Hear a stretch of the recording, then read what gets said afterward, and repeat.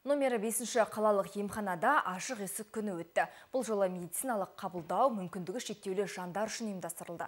Бүгінде аталған мекемеге 231 мүгедек жан бекітілген. Дәрігерлер онкологиялық аурулардың артып келе жатқанын айтып отыр.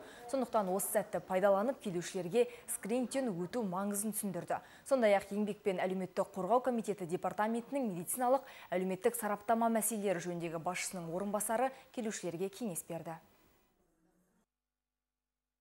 целью оказания практической помощи. Ашық есік күнін өткізудегі мақсат емделушілердің денсаулығын көріп, қажет кеңес беру.